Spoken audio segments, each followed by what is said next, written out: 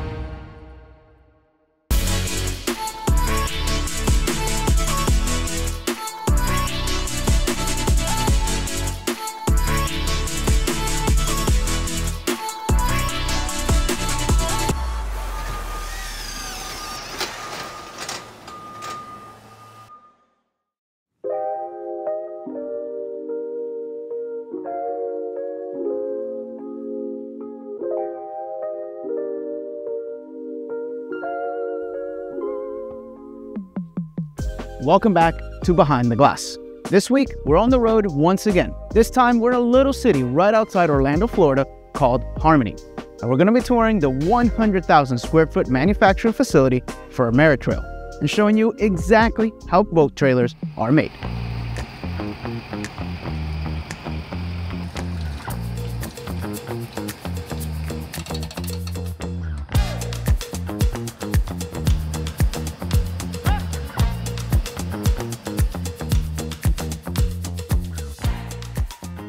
Ameratrail has been building trailers for nearly 40 years. Over that time frame, founder and president Scott Locke has been pressing his goal of building what he believes is a trailer superior to all others on the market.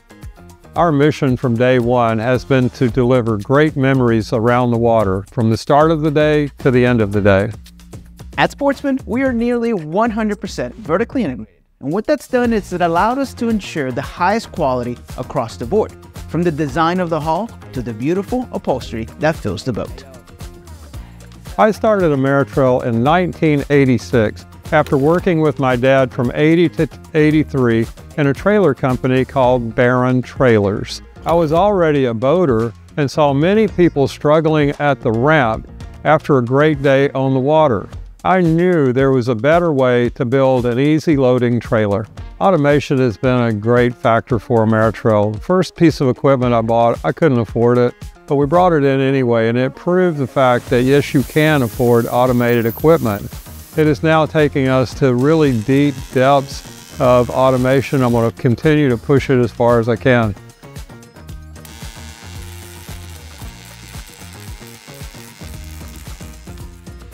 I believe this has increased productivity among our staff as they get to work with machines rather than repeating the same small processes over and over on a daily basis.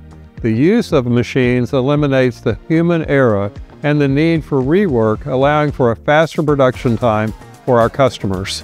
Ameratrail knows that it'll never be the largest trailer manufacturer. We're not cookie cutter. We're more custom in a production level we're always going to build a higher end trailer. We want the experience for the customer to be good. Ameratrail is a big part of the boating experience. I always say a great day on the water should end with an easy loading trailer and a safe trip home. That reminds me of our slogan, load, launch, relax. A trailer is an often overlooked but a complex piece of engineering.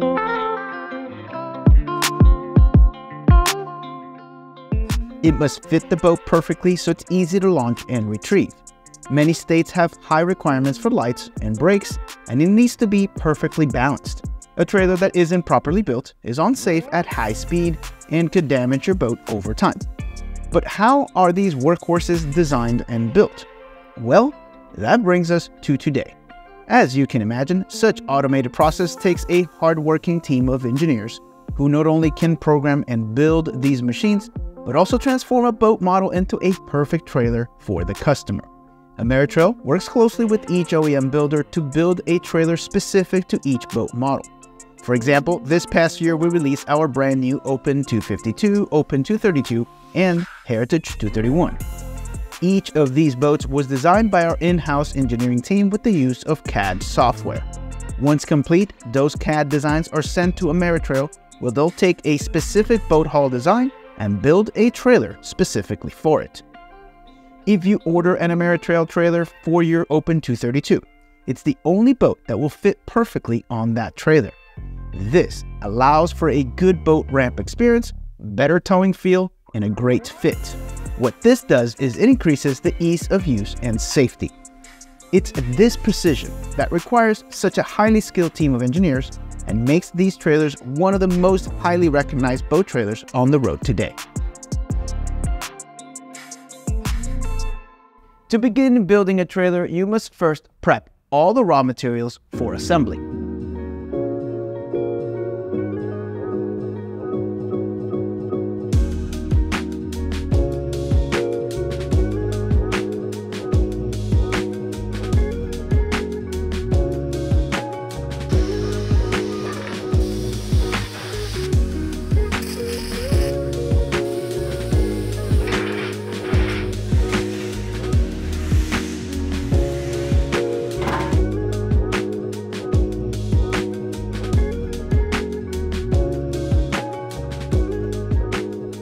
Few main pieces to the trailer build, I-beam, cross members, bunks, and axles. Ameratrail first started their automation journey through the I-beam construction process. To get precise drilling on each I-beam, Ameratrail started working with the manufacturer to adopt a custom machine used in other industries to convert it for trailer automation.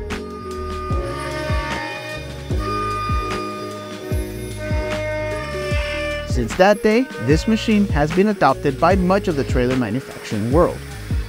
Raw aluminum beams are run through the pre-programmed machine to drill out specific holes needed for the construction process. This precision eliminates the opportunity for human error and any rework that can be caused due to mismeasurements. Additionally, this speeds up the drilling on the I-beams. On average, the I-beam has 60 to 100 different holes, and it can do two beams at a time. The programming of this machine is one of the top operations and designs the engineering team here at Ameratrail has. By using the CAD of each hull, they're able to model every trailer to exact spec before the build ever takes place. In turn, labor can be utilized elsewhere to further speed the trailer building process, which creates happier customers and better business. Modern technology and machines have allowed the engineers to more easily build a perfect trailer from the beginning, without needing to rework or refit pieces to dial everything in. Innovations like the I-beam drilling machine have helped grow and shape the trailer industry. It's aided in the creation of a better product, which is the key to further growing the marine industry. Once each I-beam has been fully drilled, it will next be moved into the bending process. Ameratrail uses a handmade hydraulic bender which will bend each beam to spec for further assembly.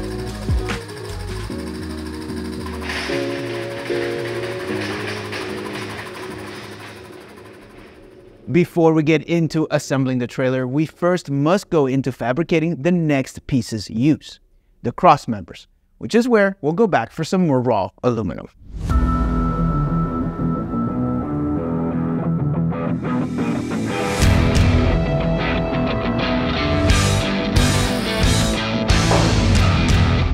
Cross members are the most important pieces of the trailer. These pieces that run horizontally across the body of the trailer connecting the two I-beams, holding each bunk in place and supporting the boat's weight on the trailer. The cross members are where the trailer gains its status as custom. Each one is formed using an automated robot that's programmed using CAD designs of each hull and trailer build. The robot is programmed to place each bunk plate in the exact spot at an exact angle. Once there, the operator is then able to tack weld everything before it moves into production welding. Every boat's crossmember will vary slightly as each boat is designed differently. This means different angle bends, different placements of bunk brackets, and different lengths to meet the bend of the I-beam. Using a proprietary jigging robot, they fabricate a template that will be used for every subsequent trailer in the production line. Using the templates, we can now see how an actual crossmember is being precisely welded in this robotic welder. Once all crossmembers are fabricated, it's time to move into the assembly process. The assembly process starts with what is referred to as bottoms. Like it sounds, this is where the bottom portion of the trailer is assembled.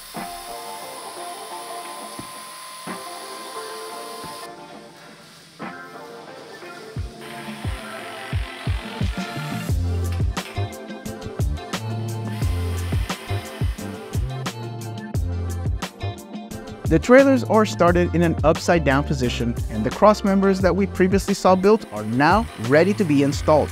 Each cross member is either bolted or welded depending on the style and design.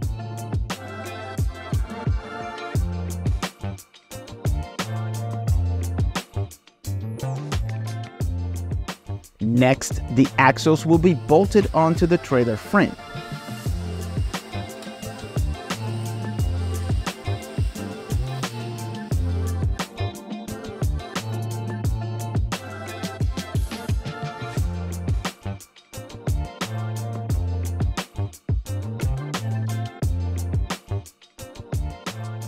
Due to the use of two different metals, Ameratrail uses a special 3M tape which will provide a barrier between the dissimilar metals.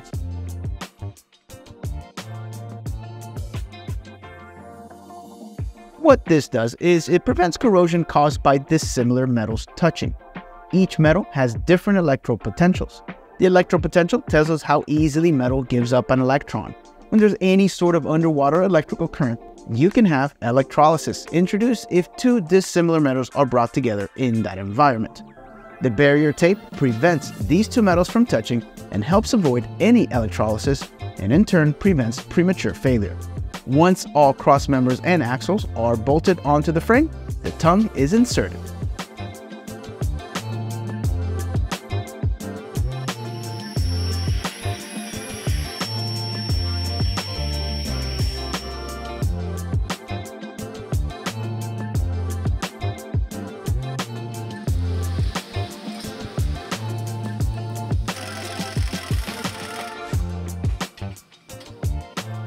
It will be flipped using a crane, then moved on to the next phase, where other key items are welded into the frame.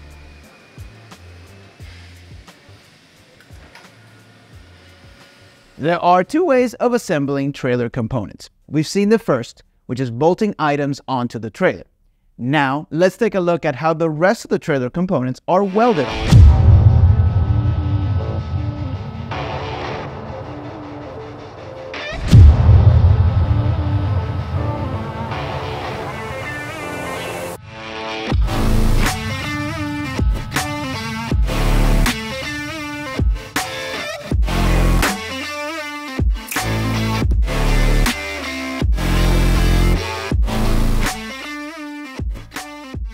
Welding components yields a higher quality and longer lasting trailer.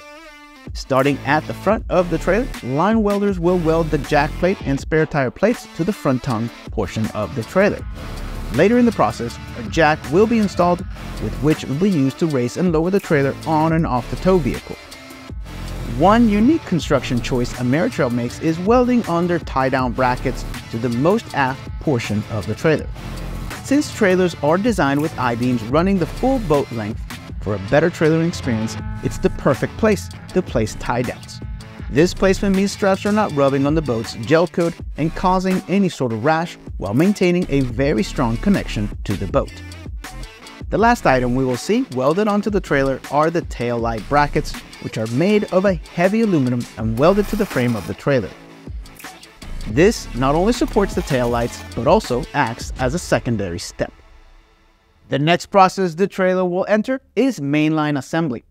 This is where the trailer will have fenders bolted on, decals and reflective tape applied, keel pads installed on cross members, and finally, it will receive its bunks. One thing you'll notice is that the steps and fenders are bolted on rather than being welded on. By choice, these components are bolted on to make them easier to replace in the future if ever needed. This saves time and makes install and replacement much easier during manufacturing. The keel pads are the next thing to be installed. These rubber pads provide protection for the keel. The keel of the boat is the lowest point of the boat and the first point of contact as the boat is loaded onto the trailer. Without keel pads, you damage the bottom of your hull on the metal crossmember of the trailer. At this stage, a custom wiring harness and brake lines are routed through a cable clamps using aluminum rivets throughout the trailer. Ameratrail pioneered grounding all lights to the tow vehicle by running a ground wire throughout the trailer. This creates a more reliable electrical system. The final step here is completing the trailer brakes. Using flexible brake lines fitted with brass connections, the lines are routed through the frame. The brake lines are protected by a plastic sleeve as well as grommets. That prevents the line from chafing. All brake systems are pressure bled to remove any air in the system. Let's take a quick break in the assembly process and talk about one of the unique features for Ameratrail trailers. What you'll notice here are support bunks as well as target bunks. We'll get back to the target bunks in just a second, but let's talk about where these bunks end. They end all the way aft of the boat, right at the transom where all of the weight is. This helps support all of the engine weight and anything else that is at the transom. Specifically talking about these target bunks, let's imagine a situation where you're coming onto the trailer and it didn't quite nail it. Maybe there's a cross current and the boat is not straight on the trailer. These target bunks are going to hit the boat right at the very beginning and they're going to help you straighten out the boat and then all you have to do is drive the boat back on the trailer. Stepping back into the assembly process, we will now look at the installation of the bunks we were just discussing.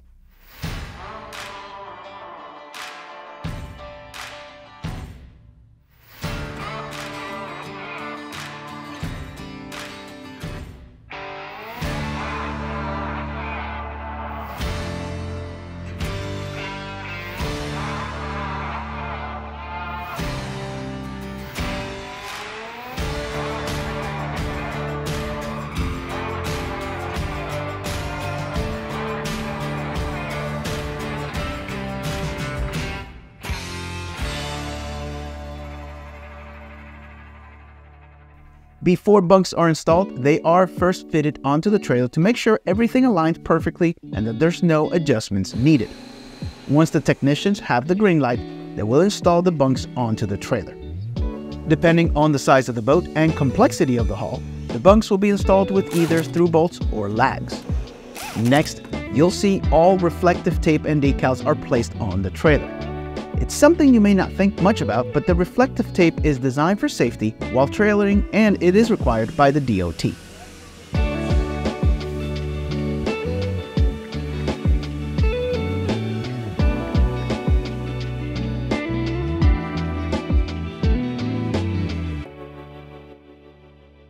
We've seen how the bunks are installed, but we've yet to see how they are made. And for that, we will head over to our first sub-assembly the woodworking area of the facility to see carpenters at work.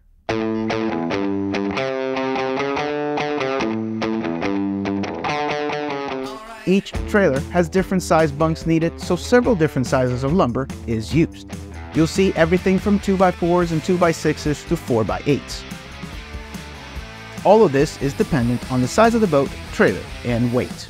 The standard wood used within all bunks at Ameratrail is ground contact pressure treated pine. This ensures a high life expectancy with zero rotting even after years of saturated carpet resting on it.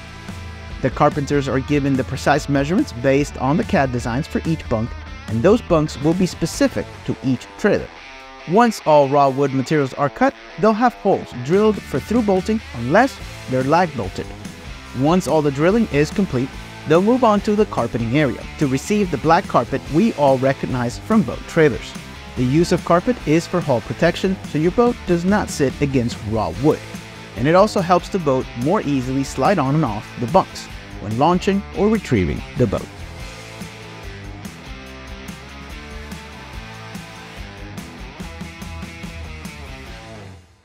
The next subassembly area we will look at is where the winch stands and V-blocks are assembled.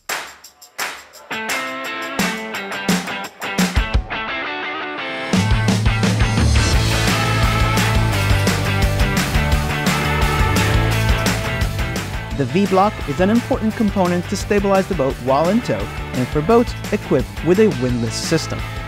Some trailers will have a roller, and this is often seen on smaller boats without the windlass system. V-blocks are often attached to winch stands.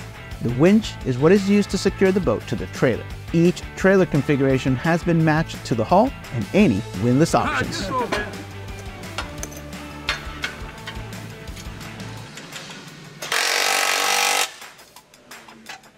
Once everything is fully assembled, the trailers are ready for shipment. Large trailers will head down the road solo and smaller trailers will be stacked, secured, and sent to the destination. We often overlook how important it is for us to own a high quality trailer and what it does to our boating experience. It's amazing to see what the Ameratrail team has done from a quality, innovation, and design perspective on these trailers. We'd love to give a huge shout out to the Ameratrail team for opening their doors for us today, and we'd love to see you in the next installment of Behind the Glass. Don't forget to subscribe for the latest content from Sportsman Boats. Thank you for watching.